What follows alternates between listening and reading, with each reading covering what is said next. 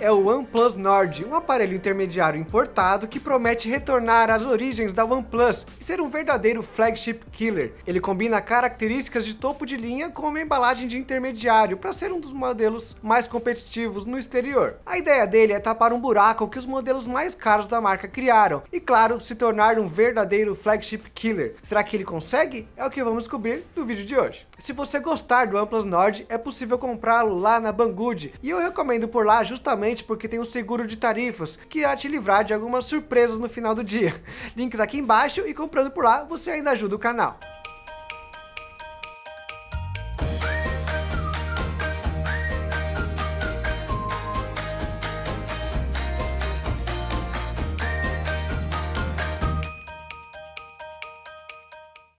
Vocês irão perceber ao longo do vídeo, o OnePlus Nord combina algumas características de topo de linha com uma embalagem de intermediário. E na boa, ele consegue ser um dos modelos mais competitivos lá no exterior. E quando eu falo de exterior, é bem longe mesmo, já que nem nos Estados Unidos esse carinha apareceu, só lá na China ou na Europa mesmo. Como é complicado achar por aqui e com o dólar alto, importar também não está lá essas coisas. Certamente ele passará longe de valer a pena aqui no Brasil, mas podemos usá-lo como um caso de sucesso para tentar encontrar algo parecido por aqui. Para começar, e já sendo bem sincero, a construção do OnePlus Nord é a característica mais sem graça dele. Não que haja algum problema com ela, mas não há nada de interessante por aqui que fosse capaz de destacá-lo de alguma forma. Sua tela não é curvada, o material de traseira até é de vidro, mas as bordas são de plástico, dando um aspecto um pouco mais barato e pouco resistente ao Nord. As câmeras quádruplas não são novidade, e o áudio externo mono é ruinzinho, bem próximo de algo que a gente encontra lá no A50 da vida. A OnePlus ainda foi uma das empresas que abandonou o P2, que é a entrada para fone de ouvido, de todos os modelos da sua linha, e o Nord não seria diferente. O único ponto interessante antes de ligar o aparelho são as câmeras duplas na frente, naquele esquema bem parecido lá com o S10 Plus, só que do lado esquerdo. Ele deixa os ícones das notificações mais centralizados, algo que eu estranhei um pouco na primeira vez que usei. E como o tamanho do furo é maior, ele acaba atrapalhando um pouco mais do que de costume nos apps que não se ajustam na interface por ele. Pelo menos quando comparado com os furos circulares que a gente encontra com mais frequência. De novo, nada disso é exatamente algo ruim, mas não é nada que seria difícil de encontrar em algum aparelho nacional. A história muda completamente logo que começamos a falar da tela do Nord. Ele utiliza o painel de tecnologia Fluid AMOLED, praticamente igual à tela lá do OnePlus 7 Pro, tanto na qualidade de imagem, que é muito boa, quanto na taxa de atualização de 90 Hz. Hoje em dia, a opção de frequência mais alta já está bastante difundida, até a Motorola já entrou nessa brincadeira, e várias marcas oferecem aparelhos que alcançam os 120 Hz, inclusive a própria OnePlus. Ainda assim, os 90 Hz daqui são mais do que capazes de garantir que sua experiência com a interface do celular seja bem mais fluida que o tradicional, superando tranquilamente o que a maioria dos celulares da mesma categoria oferecem. O que faltou para o Nord ter uma tela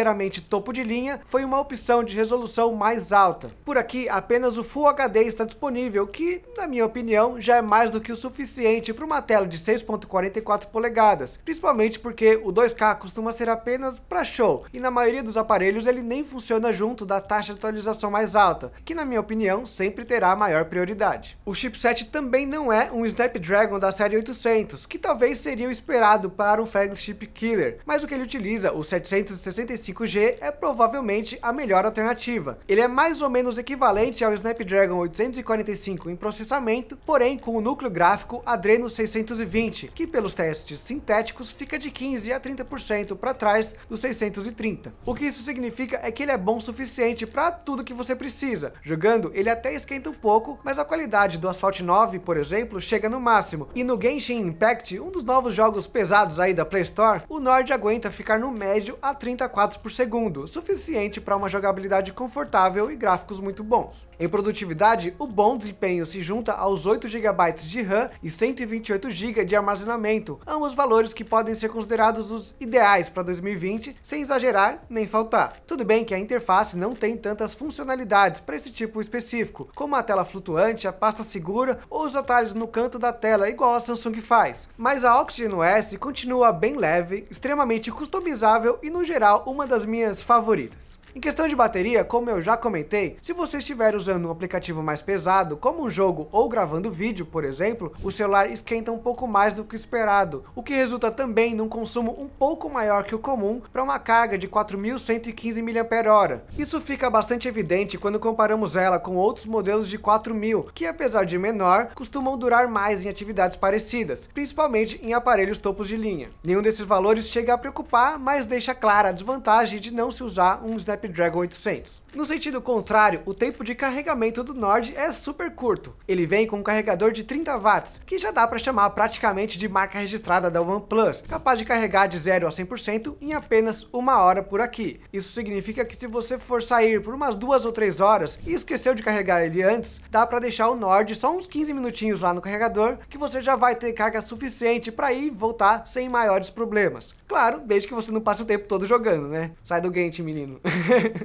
e por último, as câmeras que não costumam ser um ponto forte da OnePlus continuam como um todo para trás. No total são seis lentes diferentes, onde quatro ficam na traseira e duas na frontal. Começando pela frente, a principal possui 32 megapixels e abertura f2.5, e a secundária é uma ultra-wide de 8 megapixels e também com essa abertura pequena de 2.5. Já na traseira, a principal tem 48 megapixels, a ultra-wide 8 mega, o sensor de profundidade 5 e o macro 2. As fotos costumam ter cores fortes, às vezes até um pouco desequilibradas, mas costumam ser bonitas. Além disso, ele tem uma camada um pouco mais fria que, por exemplo, o próprio OnePlus 7 Pro. Inclusive, colocando eles dois um ao lado do outro, dá para notar mais semelhanças do que diferenças. Só o que costuma variar é o pós-processamento, que às vezes puxa para um lado diferente, dependendo do que ele lê na tela, e o contraste, que é um pouco maior no aparelho mais topo de linha. O modo noturno está presente aqui na câmera traseira e apesar de não ser tão bom quanto lá do concorrente, o Pixel, você tem aqui uma foto bem iluminada e a opção de longa exposição, que, como o nome sugere, demora mais tempo para capturar uma foto, porém com a promessa de mais luz e mais detalhe. Geralmente ela funciona, mas você realmente precisa de um tripé ou algo assim, pois qualquer tremidinha pode prejudicar bastante o resultado final. O legal é que o modo noturno ainda funciona com a ultra wide, que não exatamente deixa a foto uma maravilha, mas é melhor que nada. Durante o dia, ela faz o seu trabalho, mantendo a coloração igual às fotos da principal, o que não costuma ser verdade em celulares com câmeras piores, e o nível de detalhe também é bem próximo. No caso do modo retrato, o recorte é até que bom, mas eu já vi ela errando alguma coisa fácil, e a macro é ok de usar. Pelo menos o foco não é tão difícil de acertar, mas ainda assim a utilidade desse tipo de lente é bastante questionável. O que ficou de fora por aqui foi uma telefoto para fotos com zoom. Os topos de linha da marca costumam trazer essa lente, que apesar de não serem tão sensacionais assim, pelo menos existem, e são 10 vezes mais úteis do que uma macro ou um sensor de profundidade por si só. Partindo para selfies, a comparação entre o Nord e o OnePlus 7 Pro é parecida, mas o aparelho mais caro fica um teco à frente, pois deixa o rosto um pouco mais detalhado. Onde o OnePlus fica devendo é no modo noturno para as câmeras frontais, que não existe. Isso torna bem difícil conseguir uma foto boa nessas situações mais adversas, mesmo que uma luz artificial esteja mais ou menos boa. Podem aparecer chiados e o clássico rosto de porcelana. E por fim, a selfie ultra wide serve principalmente para aquelas fotos em grupo, desde que você use a câmera de lado, já que no modo normal, as distorções no canto da tela podem te deixar meio estranho. Já a qualidade da foto não é muito pior do que a da selfie principal, então dá para usar bastante, você só precisa lembrar que ela existe.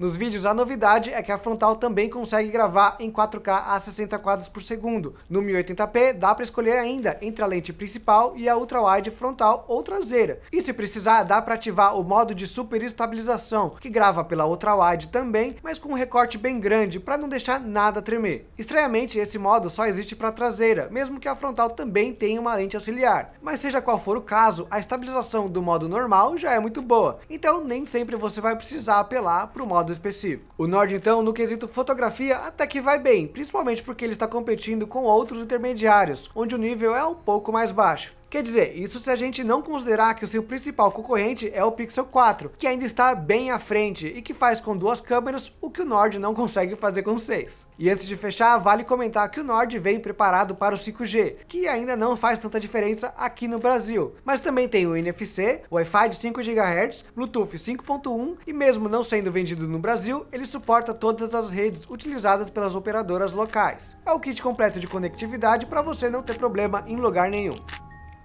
Para concluir, o OnePlus Nord alcança o seu objetivo de intermediário premium por um caminho um pouco diferente. Em vez de usar a antiga estratégia de colocar o melhor chip do ano num aparelho que de resto é intermediário, o Nord basicamente simplifica o que o topo de linha do ano passado oferecia, só que por um preço menor, resultando num aparelho, no geral, mais completo. Quando comparado com o seu principal concorrente, o Pixel 4a, ele fica para trás em câmeras, apesar de trazer seis lentes, só que a tela e o carregador compensam essa desvantagem e até justificam o seu preço um pouco mais alto, se você não liga para fotografia. O único problema dos dois é a dificuldade de encontrá-los no mercado brasileiro, o que infelizmente significa que a gente aqui ficou sem fácil acesso aos dois aparelhos que provavelmente serão os melhores da sua categoria, a menos que a Samsung lance alguma surpresa até o final do ano, o que eu acho muito difícil. Então é isso, se vocês se interessaram e estão topando uma importação, confere os links que vamos deixar lá na descrição. Também deixa um like se gostaram do vídeo, um comentário com a sua opinião e não deixe de se inscrever porque tem vídeo de guia de compra e tecnologia saindo todos os dias. Por hoje é só pessoal,